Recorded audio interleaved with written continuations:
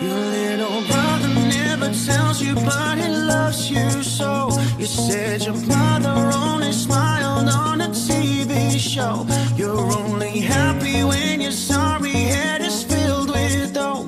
I hope you make it to the day you're 28 years old. You're tripping like a saturated sun.